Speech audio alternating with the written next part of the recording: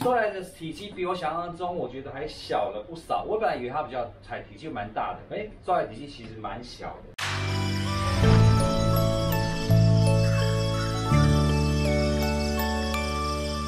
现在呢，简单的开箱给大家看了哈。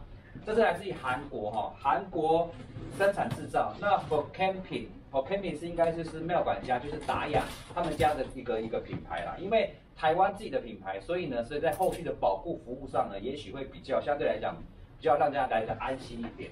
好，打开给大家看，哇，体积真的比我想象中还小。然后里面有一张啊，联航家达雅的原厂的保护说明书，啊，原厂保护说明书，里面打开。哦，它体积比我想象中还小许多呢。有一个提把啊，它是铁跟铝的材质啊，正面长这样子，正面长这样子。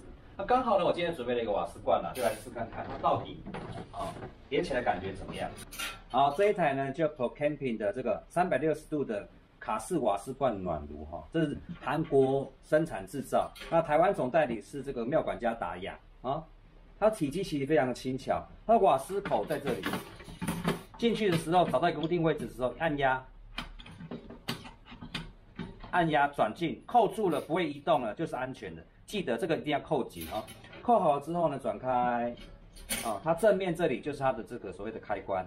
正常这样转是转不动它的，为什么？因为它有安全防护装置，一定要用按压的再转，好就打开了。开启之后呢，对不对？可以调整火力输出的大小。好，它这个这一瓶这一台的话，一小时大概它的它的燃烧瓦斯燃烧的话，大概一百一十多克。那一般我们卡式瓦斯罐来讲的话，大概一瓶我觉得啦，大概可以烧个两个小时，全火力输出的话，大概可以烧两个小时到三个小时左右了哈。而且这旁边热度是有的哦，那上面也许可以放个什么东西之类的，我不知道。但是跟煤油暖炉概念一样，东西放的时候你不要水整个溢下来或东西倒下来，这就很麻烦。还有一个提把，好。那这种东西基本上哈，就是放在这个客厅站或是有人围坐地方，没有人在的时候记得把它关闭。